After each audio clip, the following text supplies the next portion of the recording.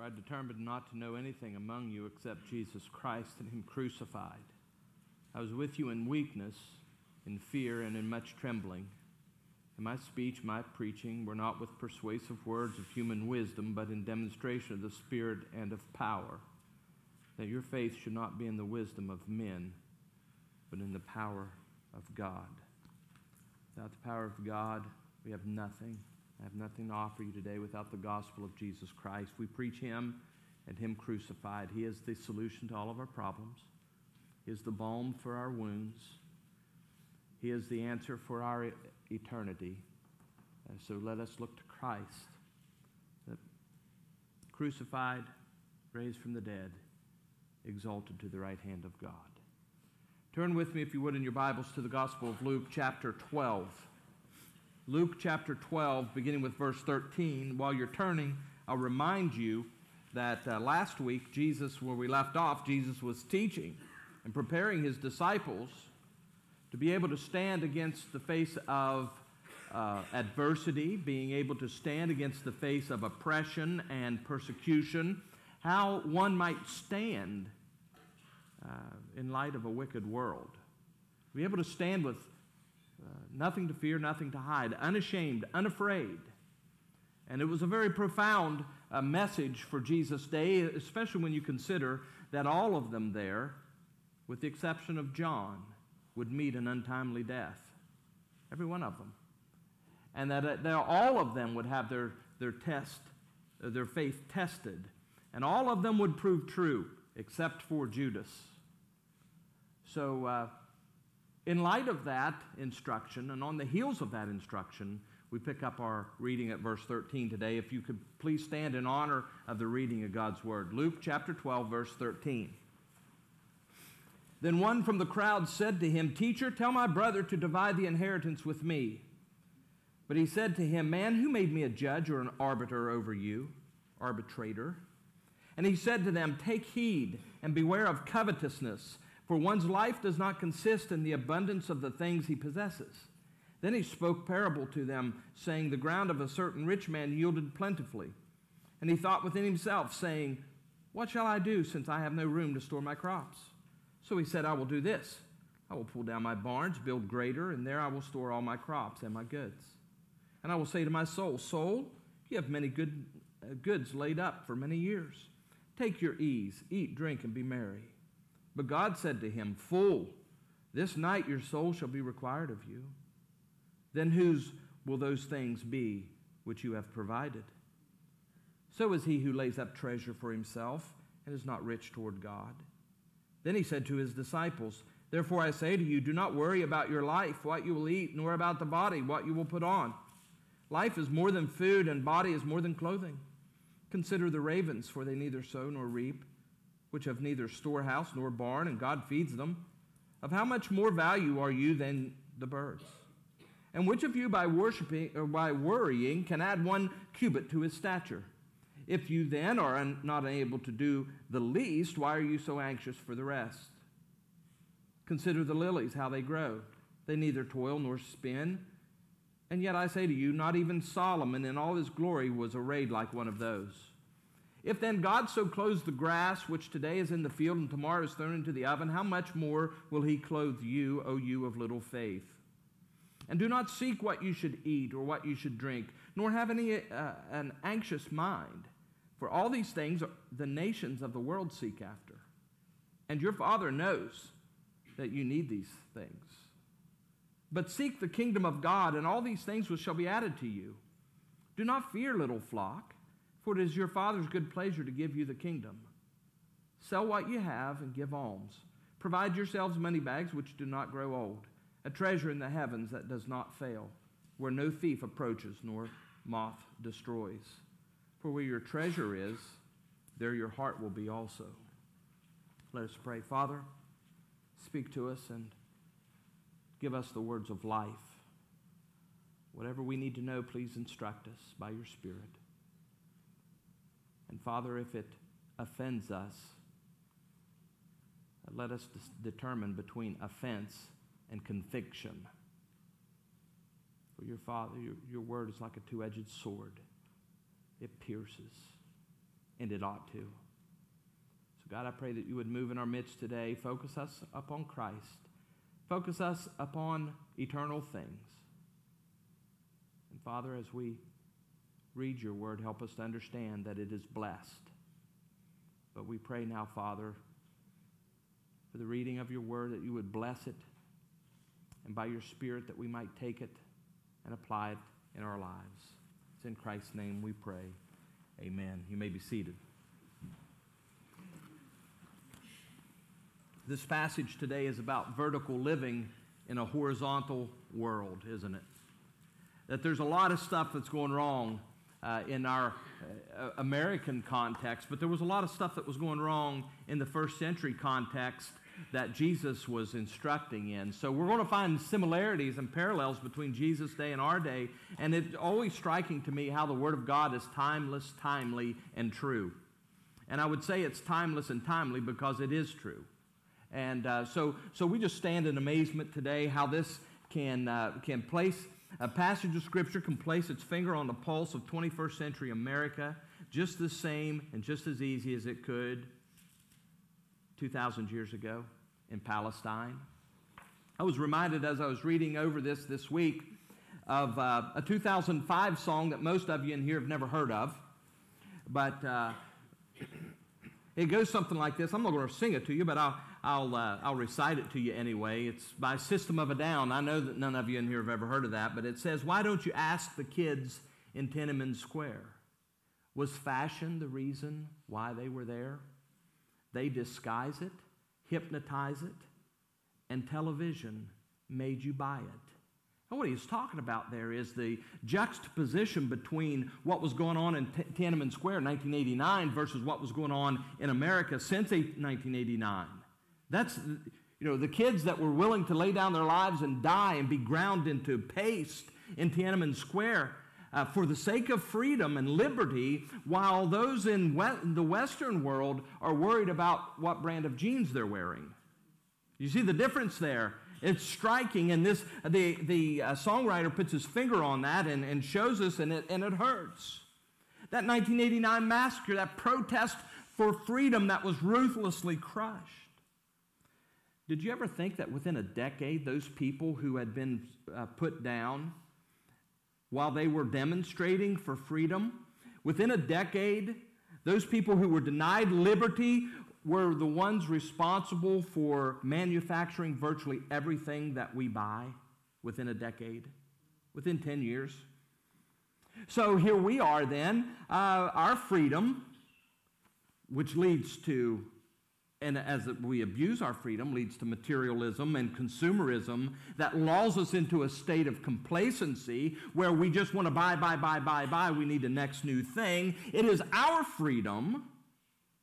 By the way we're willing to forfeit that freedom so that we might be able to sustain the level of comfort that we have.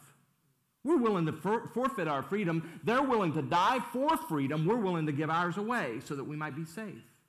You see the difference but incidentally, our freedom, while we buy these things, actually ends up enslaving both people the Chinese and the Americans. The producers and the consumers are enslaved as a result of greed, materialism, crass materialism, consumerism. I ask you this is this how Christians are supposed to live? Is this how Christians are supposed to live? Is there a way for a Christian who is caught up in the American culture of things, the American dream? Is there a way for us to be able to disengage and reverse course? Jesus says that there is. It's found in verse 31. Seek the kingdom of God. In Matthew's account, chapter 6, uh, this is included in the Sermon of, on the Mount. But seek ye first the kingdom of God and his righteousness, and these things will be added unto you. Jesus says if we put, uh, put the kingdom first, all this other stuff's going to fall into place. Well, my friend, there's no doubt about it, and we, we make this clear to you on a weekly basis that Christians are called to kingdom living, that Christians are called to uh, a higher purpose, that we're to live vertically before we live horizontally. Oh, while the world tells us no, it's just about horizontal living what you can get and what you can gain and what you possess and what you can hoard. That's horizontal living. Do unto others before they can do it to you. Get yours. See what's in it for you. You can have it your way. Just do it. No, vertical living says seek God first. Seek his kingdom first and his righteousness, the Bible tells us. We're to live vertically. And, and in our passage today, Jesus forbids uh, uh, four things. Verse 15, he forbids greed. Verse four, uh, uh, 22, he forbids worry. Verse 29, he forbids obsessing over things. He uh, forbids in verse 32 living in fear. Now, you tell me that that doesn't define 21st century American culture today? Does it define you? Does it define who we are as a nation and as a people? Does it define our churches? When most of the churches are telling you to give so you can get. Come on in, get what you can get. God wants you to be happy. God wants you to own stuff. God wants you to have the desires of your heart. You just ask Him for it and He'll give it to you. Well, Jesus forbids these things. And this does define us, doesn't it? Greed and worry, obsession and fear. But Jesus also gives us an antidote. Look in verse 21. Uh, in essence, be rich toward God. Verse 31, seek God's kingdom. Verse 34, treasure God above all. That's the antidote, you see. This is the antidote for the rat race that we find ourselves caught up in.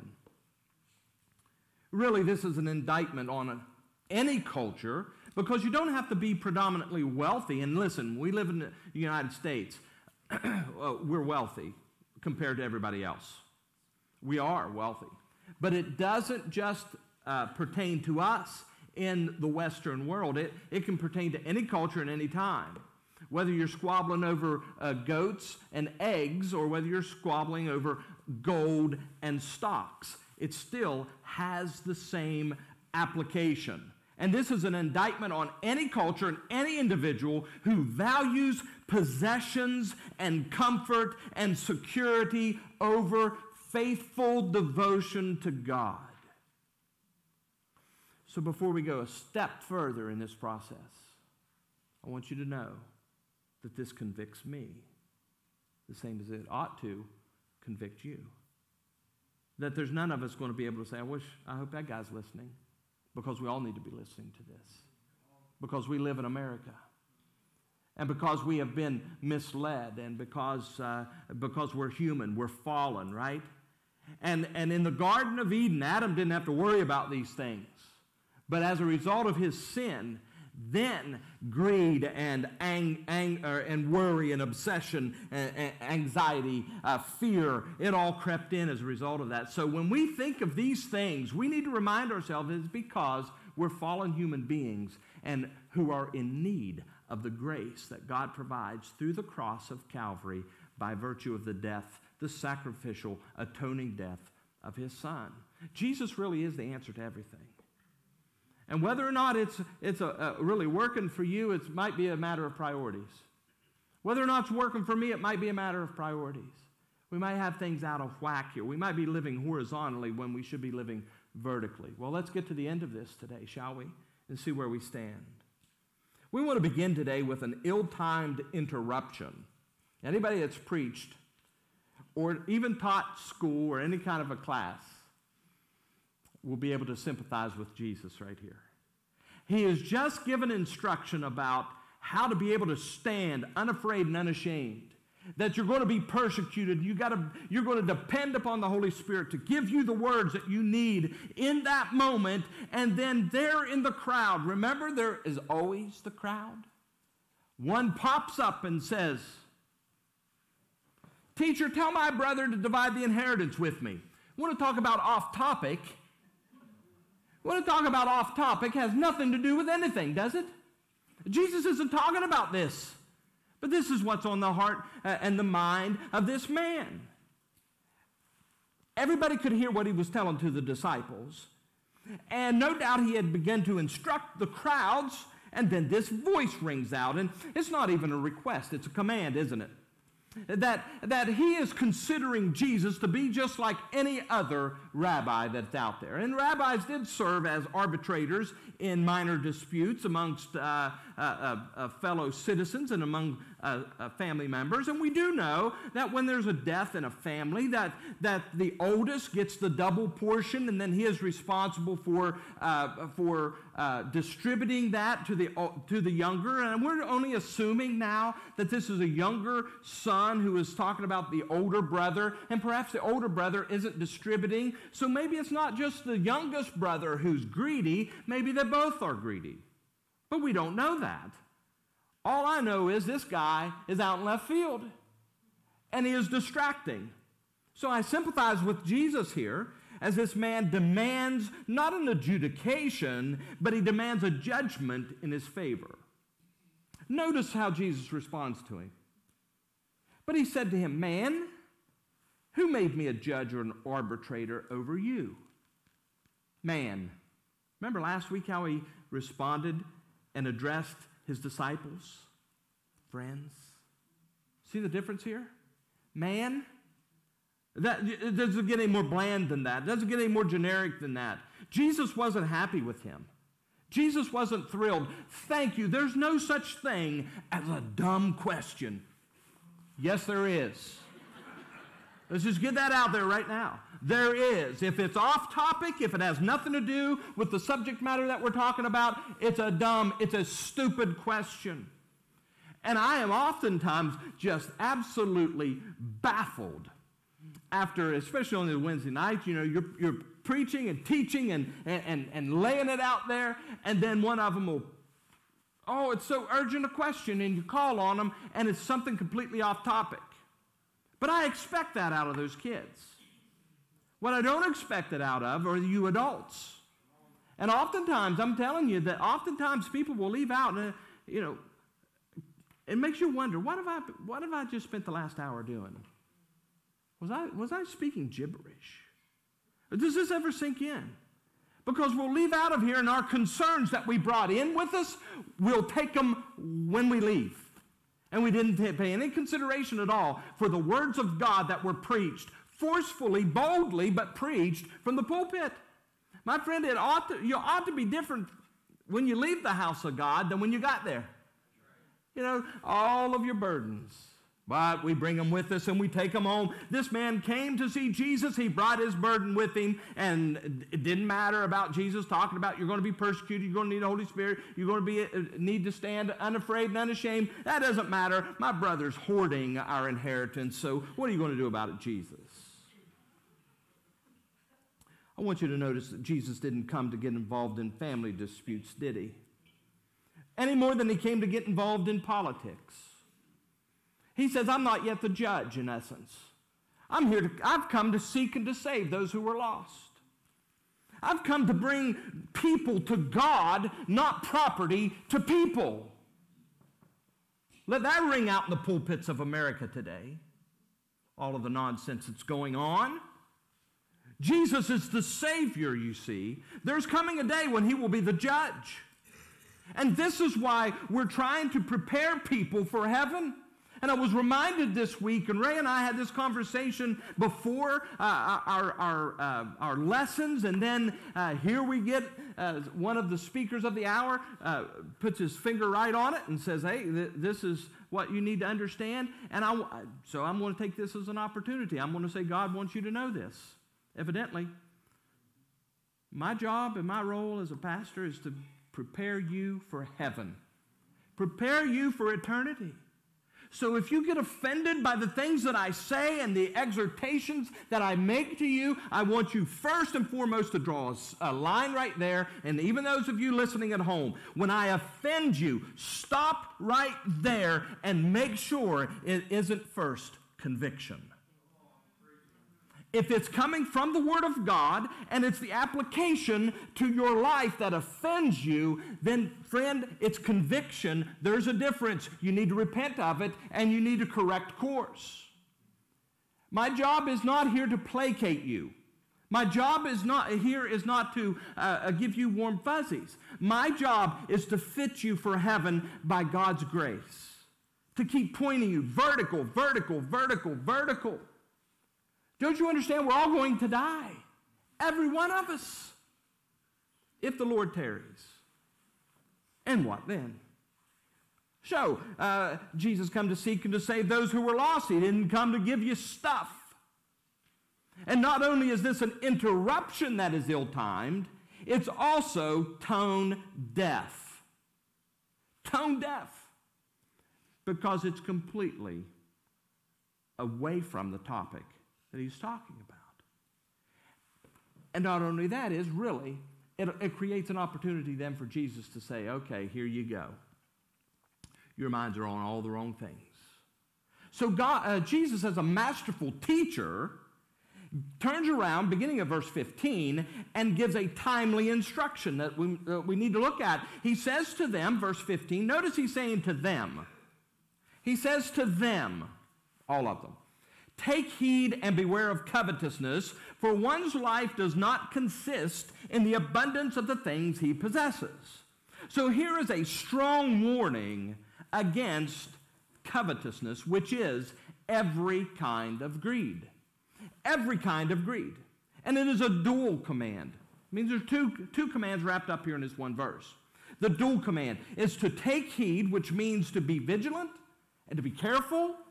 And also, it is to beware, which means to guard oneself or to keep oneself from indulging in certain things. Either way, both of them are timely and timeless for us today. Both of these we need to know about, that we need to take heed and to beware of covetousness. Then he goes on to say, For one's life does not consist in the abundance of things. He defines for us here what life is by telling us what it is not. What is life not? It is not about an abundance of possessions. It's not about an abundance of possessions. When you went to your closet this morning, did it take you a little while to figure out what you want to wear? Do you have to rummage through your sock drawer to see which pair you want to wear? Not if there is a pair of socks, but is, you know, which one of these? Guilty. Guilty. I can't even close my sock drawer. I'm so afraid of not having socks in there that I've just got it crammed full. And in reality, I only wear like three pair of them, they get wore out and washed so much. But I mean, that's just, that's on me, isn't it? And then you just extrapolate that into your money and your, your fun and games and everything else that, that consumes us in the American culture. It, Jesus says life is not about those things. Now, here, interesting enough, in verse 15, uh, the word for life in the, uh, in the uh, original Greek is zoe, which is not the typical term for life, which is usually psuche, which is the same word we use for soul.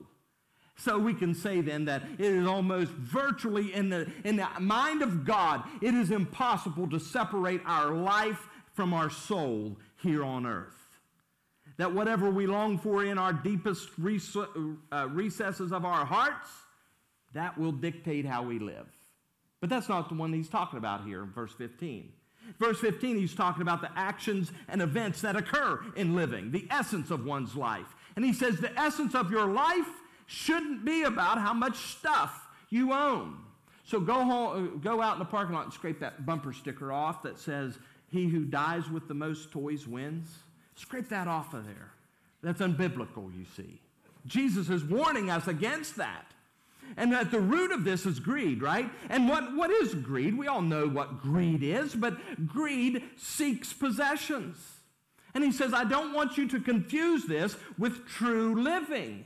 As a matter of fact, seeking possessions is a substitute for the proper object of a man's search for things or, or for worship, and that is God. So it is really, truthfully, we can say that greed is idolatry. And if you don't believe me, look at Colossians chapter 3, verse 5. Colossians chapter 3, verse 5. Therefore, put to death your members which are on earth fornication, uncleanness, passion, evil desire. There it is covetousness, which is idolatry. Do you ever think that the things that you're heaping up for yourselves are idols? Jesus says they are.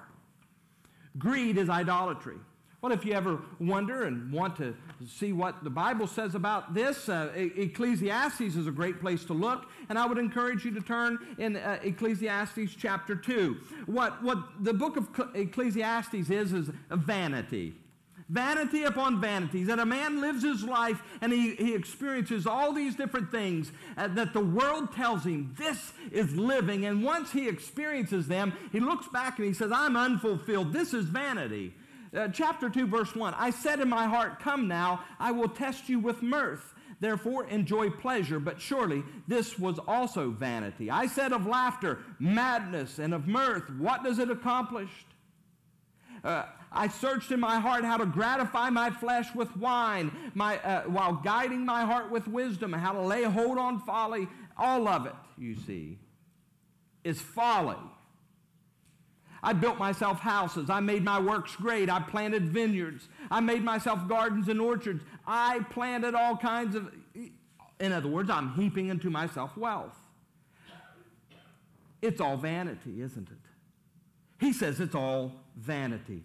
Look at verse 18 of Ecclesiastes 2, uh, or, or, write this down or look it up when you get home. I probably work better that way. Therefore, I hated life because the work that was done under the sun was distressing to me, for all is vanity and grasping for the wind. Then I hated all my labor in which I had toiled under the sun, because I must leave it to the man who will come after me. And who knows whether he will be wise or a fool? Yet he will rule over all my labor in which I toiled and in which I have shown myself wise under the sun. This also is vanity. Flip to chapter 6.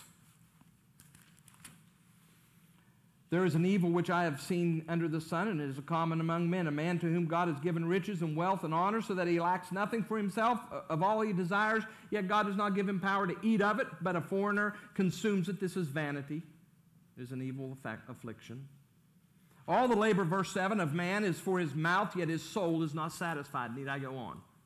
The wisdom from the Old Testament. You're going to kill yourself, rack yourself, uh, exert yourself so that you can have more stuff, so that when you die, somebody else will belong, uh, will belong to somebody else. So that the next person coming along, you're going to spit shine everything that you've got, and you're going to hoard it for yourself, so that the next person comes along is not going to treat it with the same level of respect. For it's all vanity. Incidentally, the word for vanity there means meaningless vapor, emptiness, and idle. Vanity, our work, our labor, accumulating things is idolatry. Well, he gives us a parable. I, I noticed that the silence has set in. He gives us a parable to reinforce his, his, instruction. Verse 16, he speaks of this certain rich man who had a, a farm that yielded plentifully, and there was all kinds, there was an overabundance. And he looked around and he said, This is doing so good. I'm going to paraphrase this for the sake of time. This is doing so well, I don't have any room to store it. So I'm going to tear down the barns that I have in order to build new barns. And he says, I'm going to do this. Look at verse 18. I will do this. I will pull down my barns and build greater. And there I will store all my crops and my goods. And I will say to my soul, Soul, you have many goods laid up for many years. Take your ease, eat, drink, and be merry. Notice how many I's and my are in that passage. And it's a parable, and Jesus is giving this to us for a reason. But notice as well that he had many plans, and these plans make sense horizontally. There's nothing wrong. If you're looking on the horizontal plane, there is absolutely nothing wrong with the plans this man made. If you're the center of everything. If it only matters uh, how many uh, toys you end up with when you die. If it only matters that you've got more than you ever need. This makes perfect sense. That's living horizontally, isn't it? Well, uh, uh notice I, me, my. many plans, but notice that he did not include the vertical, which is God. You want to talk about an untimely interruption. Look at verse 20. But God said to him, Fool. And this, that word for fool is not just like you know, you know, a silly throwaway, castaway word. Uh, in, in, the original, it, it means one who has ignored the precepts of God for the way that they live. The fool has said in his heart that there is no God. It's a fool, somebody who has rejected God and his standard for living. But God said to him, You got all kinds of plans, pal. These are good plans. But God said to him, Fool, this night your soul will be required of you. Then whose will those things be which you have provided? God interrupts his plans. It is an untimely interruption, isn't it? In my life, how many people I've dealt with who have had their plans interrupted. Life is what happens to you while you're busy making other plans, right? So isn't death. So isn't death. That, that we, we don't know. Our life is but a vapor. It appears for a little while, vanishes away that it's appointed unto man once to die. After this, the judgment. God, Jesus is wanting them to know that God required this man's soul, despite all of his plans, no, despite how great the harvest was, despite the fact that he had many and, and, and much for not only his generation, but generations to come. And he says that your, you fool, your soul will be required of you this night, tonight. Required means to demand something back, something that is due to be returned to one's ownership, to ask for it back. You understand, my friend, that you owe something to God. You owe your soul, and He'll call for it one day. What then on that day? When he, re- when he requires your soul, will you be able to say, Well, I've got all these barns and they're chock full of good things? He'll say, I've been looking for people living vertically, not horizontally. Depart from me, I never knew you. You're just like the fool that Jesus taught about, who reject the knowledge and the precepts of God as a basis for life Oh, my friend, if you'd understand that it's not about what we own, is it? It's not about what you own, it's about what you owe to God. Not what we own, it's about what we owe. And that we're told then to be rich. Look at verse 21. So is he who lays up treasure for himself and is not rich toward God. Now, I want you to notice here with me that this is not a license for laziness. Men, you have an obligation to provide for your families as best as you can. All of us, we have a, a, an obligation to uh, exercise the gifts that God has given us, to maximize our, our talents and our abilities as God has seen fit to mete them out to us. We have that obligation. Our work is worship before God. Whatsoever we do, we do as unto the Lord. What we're saying, though, while this is not a license for laziness, it is an appeal to priority. If we're putting our work before God, idolatry, thou shalt have no other gods before me. I was talking to a man, a very wealthy man. When I say wealthy, I'm saying wealthy beyond what you and I even can fathom. Matter of fact, when I'm talking to this fellow, I kind of stagger at it myself. I don't know how in the world he does it, but he's got it, you know. I don't fault him for it. But he said to me, I'm only going to do this for a couple more years. He said, This is grinding me down. He said, This is, this is too much. And I said, Well, the fact of the matter is, you could give up tomorrow. You've made enough for 10 families for uh, 10 generations. You can give it up tomorrow, but you won't because you are accustomed to a certain level of comfort, a certain level of prestige that comes along with that kind of wealth. And then I had to be honest with him. And I said, Well, I am no different. While it isn't the heaped up amount of wealth that he has, for me, it's a matter of security that is my idol. That I want security. I don't want to have to struggle like my parents did when I was a kid growing up. I don't want to have to worry about those things. And by God's grace, I never have. But if I don't have it prioritized, you see how this can lead me horizontally right into the pit of hell? And I can be singing the songs and I can be living the dream and everybody be patting me on the back in the church, but I've got an idol if I'm not careful. It's a matter of priority. It really is. Well, then, how should, we live?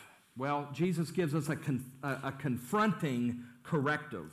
A confronting corrective. How then shall we live? Look at verse 22 first. Then he said to his disciples, Okay, he's talking to the crowd, and this is good for anybody in the crowd. We can say and shout this to America, the culture at large. Don't be greedy and beware of greed. Don't live like that. But now we're talking to Christians. We're talking to people who will drag their carcasses into a Lord's house uh, on a Lord's Day morning for the hope of hearing God's message for them. That's me and you. He's talking to his disciples now, and he says, Therefore I say to you, here's our first corrective do not worry about your life. Notice, uh, he had to talk to these disciples who had been walking with him for some three years now. They saw what he did, they were getting an inkling who he was. Notice they still worried. If they didn't worry, he wouldn't have to give them the instruction, right? So, this is something that needs correcting in all of us from time to time.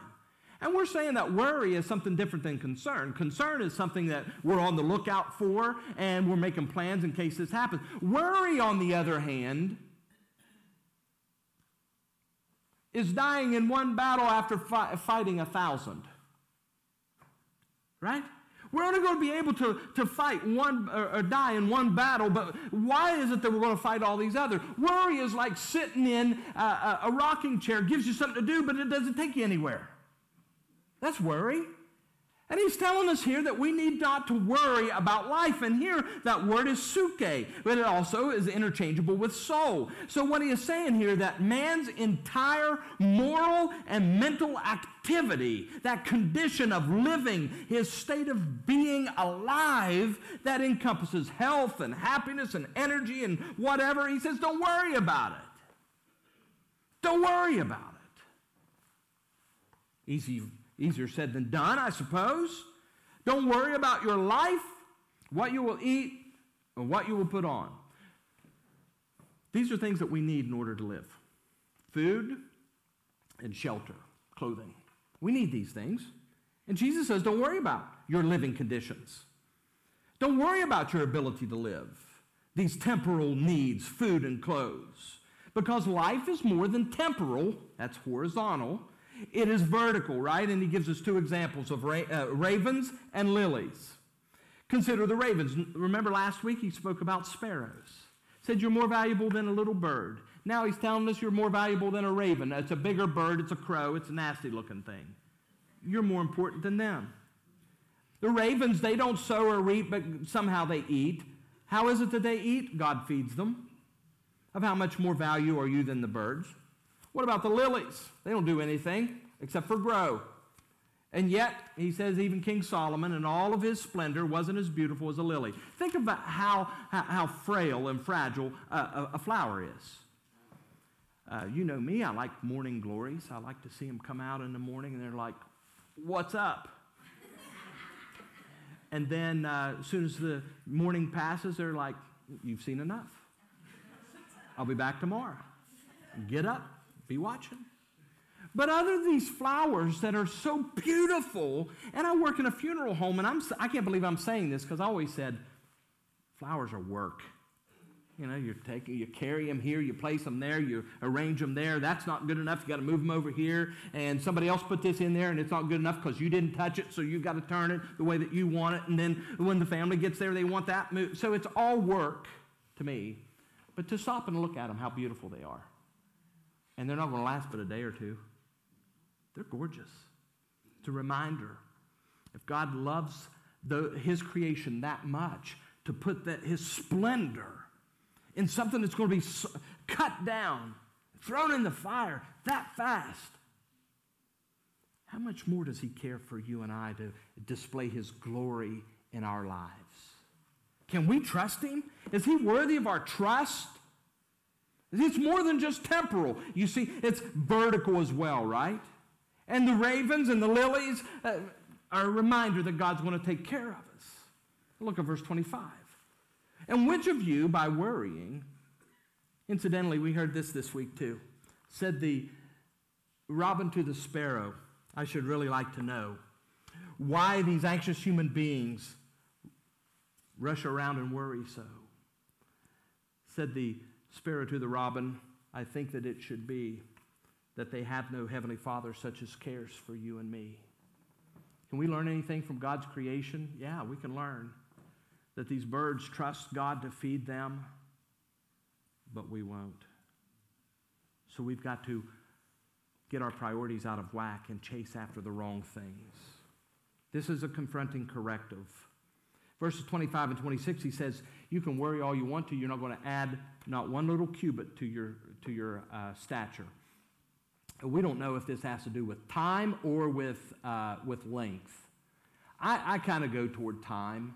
Some of your translations will say an hour to your life. I, I agree with that, but the same word is used. It, it basically means uh, a, a, cubit's about 18 inches, the, the span of time that it would take for you to walk 18 inches. Believe it. Is that right? 18 inches a cubit? Pretty close. Well, you can look it up and prove me wrong. Whatever it is, is a short distance. And whatever, whatever amount of time it takes to take that step, he says you can't even add that to your life. Now you say, well, I like the fact that, uh, that it has to do with height because I read from King James or whatever. Okay, you're not going to be able to worry and add not a little, not even an inch to your, to your height. You see, it doesn't matter. You can worry all you want to. You can't add to the length of your life, and you can't add to your stature, to your height. So stop worrying. Does the church in America need to know this? Does our culture need to know this? As a culture that has, by and large, uh, uh, been uh, guilty of greed and anxiety and worry and, uh, and fear. They need to know this. Now, listen, they don't need to know that you and I have never experienced these things. They need to know that you and I have experienced them, but by the, the glory of the cross of Calvary, we're delivered from it. That's what they need to know that there is a corrective here, that we have gone by way of the cross and we have laid all of our cares there. That's why we can venture back out into public. That's how come we can uh, uh, uh, uh not worry and fret over what the stock market's doing. That's why we can don't have to worry and fret about what, what's going on in that hospital. Because he cares for lilies and sparrows and ravens and He cares infinitely more for those that belong to Him. Now that's comfort. That's vertical. Worry can't add anything. You can't add seconds to your life. You can't add any uh, distance to your height. But we need to look at vertical here. If then you're not able to do the least, why are you anxious for the rest? In other words, don't you understand that God is sovereign? That God has ordered everything? He is sovereign even over the necessities of our life. And let's be honest with each other. The things that we worry about, and the things that we pray to God about, and the things that we uh, uh, uh that we are uh, anxious about. If we lived in a third world country, would never be even a blip on the radar.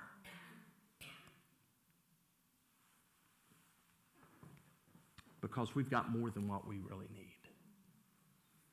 Oh God, I pray, we might say, I've had sleepless nights that the, my carpet will get delivered. Uh, you're going to hear this in a lot of places. A lot of places are going to say, if, it, if, it concern, if you're concerned about it, then God's concerned about it. What you're going to hear here is, why don't you just trust God and quit worrying about those little minor things? As a matter of fact, some of those things need to be purged from your heart and confessed before God as unneeded concerns. Oh God, I just wish that you know, think about this. Our greediness and our, and our worry, our anxiousness, and all of this, it makes us live places we don't want to live. It makes us to go places we don't want to go.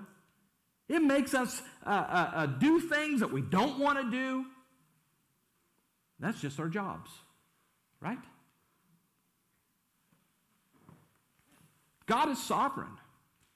And there's not one person here, and I want you to listen to me, please and I mean this as humbly as I possibly can. There's not one of us here who will die one second too soon or one second too late. Not one of us. For it is appointed unto man once to die. Then after this, the judgment. Your soul might be required of you today. You owe it to God. The question is will you be able to stand there unafraid and unashamed? Look at verse 29. He says, Don't seek. That word means do not seek, means do not set your heart on. And do not seek what you should eat or what you should drink. Do not set your heart on. Do not obsess over. Don't be obsessed over these things because before long they're going to own you how true this is. We begin by owning things, and before long, they own us. We start by running our businesses. Before long, our businesses run us. And don't be of an anxious mind, nor have an anxious mind. The word there uh, for anxious means something that is raised up or suspended, and really, what it, it it's a nautical term, like a buoy or a boat bobbing around in the ocean on waves. That's what that means. And don't be like that. Don't let your mind be like that. James has something to say about that too, right? Double minded person. He uses different terminology, but the same uh, uh, mindset. A double minded person is like waves being t- tossed to and fro. Don't think that person's going to receive anything because they're double minded, flighty, one might say. Well, Jesus is saying here do not worry and do not be anxious, bobbing around like that. That's a lesson for all of us, right? Those of us that have been crushed by life, those of us who have been kicked in the teeth. And I don't mean to discount anything that we experience in our lives because we'll all be there. We'll all leave this life bearing our own scars. And there are concerns, genuine concerns. We're talking about making God a priority here, living a vertical in a horizontal world when uh, the world will tell us, oh my, that happened to you. There's no coming back from it. A vertical thinking person, a vertical living person says, yes. yes. There is a way to come back from it. We're unashamed, we're unafraid, and my God is good, and ill that he blesses is for my good, and unblessed good is ill, and all is right that seems so wrong, if it be his sweet will. Yes, this hurts. Yes, it leaves a mark, but it's for his glory and for my good eventually. See, that's vertical living. And notice the dichotomy here that, that you, have got to see this. What he is basically telling, verse 31, uh, uh, verse uh, 30.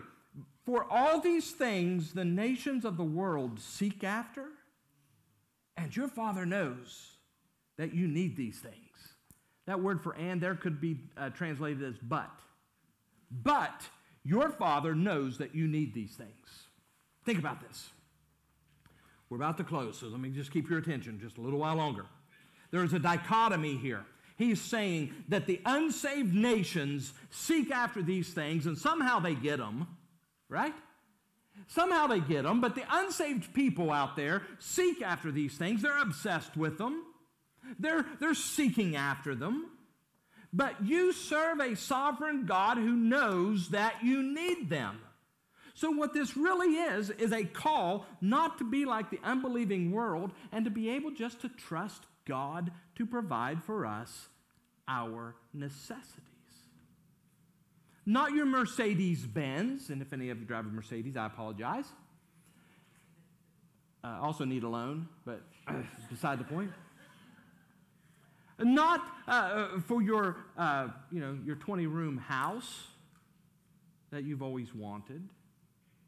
No, God promises to provide. If we're putting Him first, we'll eat and be clothed. You see, it's not a matter of what I'm going to, uh, you know, what should I wear today? It's a matter of which one should I wear today. And I am keenly aware that in many places on the face of this planet, there are preachers standing in the pulpit dressed in the only suit that they have. And they wear it week in and week out because it's all they can afford. So I'm humbled by that. Notice also verse 31, he says, Seek. There's that word again to set your heart on. Don't seek after certain things, but now here, seek or set your heart on, strive for, obsess over God's kingdom. I know that there are people that say, all this business, you're too heavenly minded to be any earthly good. That is usually extended as a cop out. I've heard this in my uh, years of preaching. At first, you know, people ignored me because I didn't know what I was talking about. Then in time, they ignore me because I do know what I'm talking about. I'm just too uh, hard about it. There's no winning. And I don't know when that line was crossed. I don't know. It's kind of like with my, you know, I was always too young and now I'm too old. So I don't know when I crossed that line either. But I'm going to say it was just a sliver of, of a second. It was quick. And before, li- uh, before long, I'm on the backside looking in, right? Well, I, I'm just telling you here that we're to be obsessed with the kingdom of God. And to, to have to even explain this to a building full of blood bought believers shows the sign of the times in which we live. That yes, we must be obsessed with God's kingdom because unless we receive the kingdom of God, unless we receive that through Christ, we'll leave this world unsaved and damned to hell there are some things worth being obsessed over. Notice he says that as you seek God's kingdom, these things will be added to you. When the vertical is our greatest desire, then the horizontal will be provided. But here's the thing about that horizontal provision our goals, our needs, our ambitions will change because we're living vertically. It'll change because we're living. Our desires will line up more with God's desires. We'll want the blue bicycle that's stored up for us in the garage. That's for another date. Some of you will know what I mean. We'll desire to have what it is that He wants us to have. Then, He's a great God, isn't He? Look at verse 32. Don't fear. Do not fear, little flock. Oh, you little flock, do not fear. In Jesus' days, talking to his disciples, it was smaller than they thought. There was only 11 out of the 12 that was true. In our day, it's even smaller than we think. I wonder how many of the folks in here aren't really saved, just going through the motions. Allowed to talk like that? I told you, I, my only job is to fit you for heaven. And if I'm not willing to do that, if I'm not willing to put my finger on the ouchies and say, Does this hurt? then uh, you shouldn't even have me up here. Go get you somebody else. Uh, it's the reality of it. I wonder how small the flock really is who will inherit the kingdom. But I want you to notice this these that need fed, these that need provided for, these that need the, uh, the affirmation of God uh, to provide for them, this little flock is someday, is going to be the Father's good pleasure to give to them the kingdom. Here's the keys to the kingdom. Little flock, you persevered. All of this is yours. You see, trusting in God to provide liberates us from grasping in the pursuit of temporary things, doesn't it? And we start to live with eternity in our minds to gain the eternal kingdom. Well, we'll close with a very uncomfortable calling. Sell what you have, give alms, provide for yourselves money bags. Lay up treasure in heaven that does not fail, where no thief approaches for moth, nor moth destroys. For where your treasure is, there your heart will be also. This calls us to a deeper level of commitment and discipleship. And discipleship is that, right? It's following Jesus. It is a, uh, it's a call to costly sacrifice for the kingdom. And what I find is that the more we sacrifice for the kingdom, the more costly our sacrifices for the kingdom, we will eventually know the joy of living for his kingdom, and we discover that there are no sacrifices at all. Because his kingdom is our grand ambition. And we're doing this for the kingdom. Really, this is a call to divest and invest. Now, listen, I know that there's other places in the Bible that tells us that uh, and lets us know that material possessions in and of themselves are not inherently wrong. I know that. I know that there are places that tell us that we have to work and that we ought to be mindful of the future and we ought to be able to have uh, money so that we can give to the poor and to help those that are struggling. I know all of that, but we're letting those passages preach for themselves. This happens to be a moment in time when Jesus is putting his finger on the ouchie. Jesus is exposing to his disciples and to those people who are willing to listen to say it's a matter of priority. You need to live vertically first before you expend all of your time, energy, and effort on horizontal living. So don't go out of here and tell them the preacher told me to quit my job. Read verse 13 again, right? Ill timed interruption. It's not what I'm saying. I'm saying if you work, if you do your things, and they're secondary to the kingdom of God, you got the right priority. But also, if you're called to give it up, give it up. These passages will speak for themselves. This is a call for radical transformation of priorities. And we must heed them because our souls will be required of us. And there are too many people in these modern times in which we live that are enslaved by greed, by worry, by anxiety, by, uh, by fear. Too many. And God's church is constricted by these things. That when we as a people are consumed by our greed and by our our worry, our anxiety, our fear. We hinder the, the growth and the work of the church. If you worry too much that you can't participate in church, you affect me.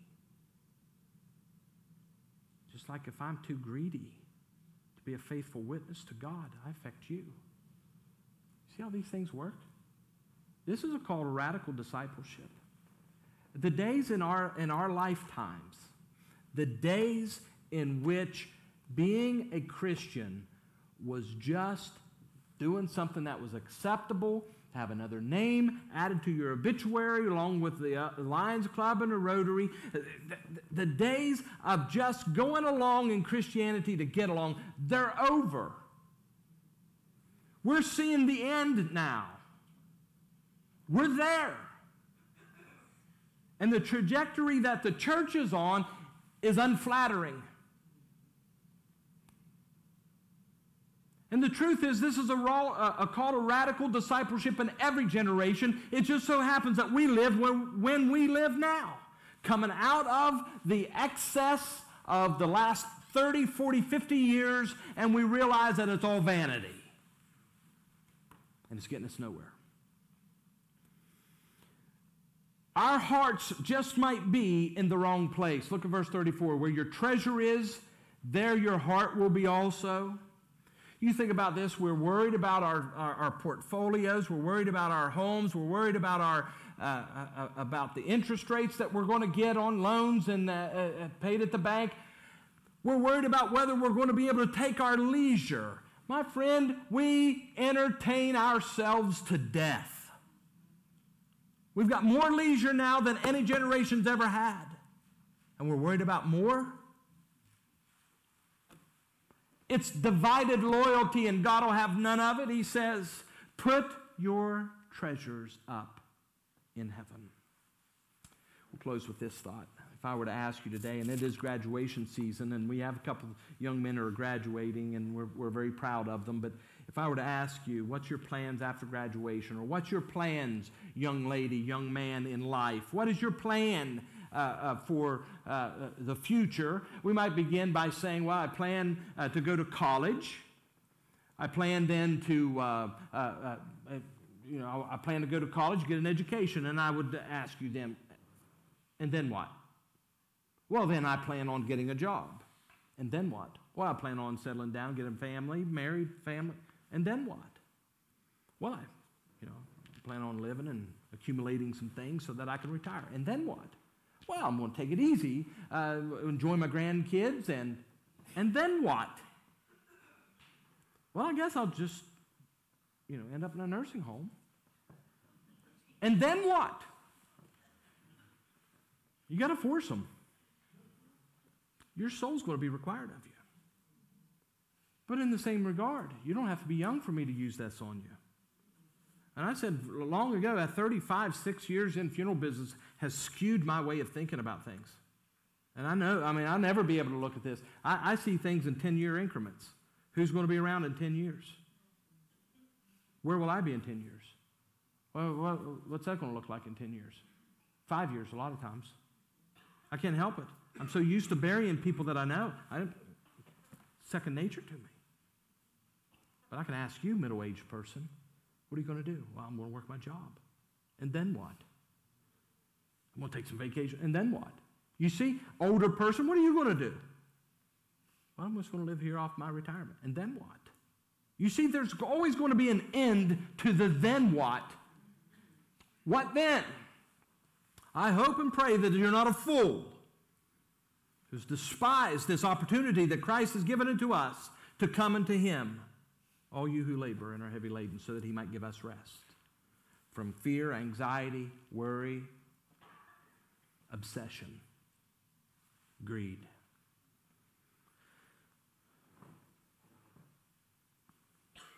What are your goals, your plans, your admit, your ambitions? And then what? Let us pray. Father.